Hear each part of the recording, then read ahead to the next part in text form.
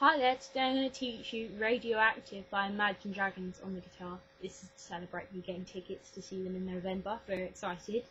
So it's really easy, four chords and same chord progression throughout the whole song and that's A minor, C, G and D in that order.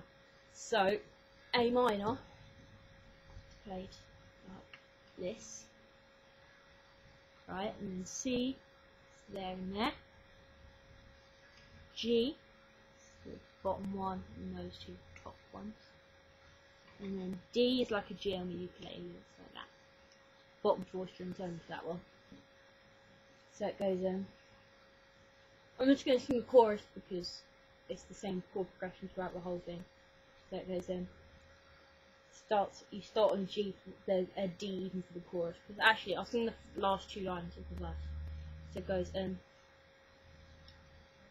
It starts with A minor breaking in, shaping up, checking out on the Christmas bus. This is it, the apocalypse. And on J, I'm waiting. So then you go to the D. I'm waking, A minor. Fear in my bones, enough to make my systems grow. Welcome to the new age, to the new age. Welcome to the new age, to the new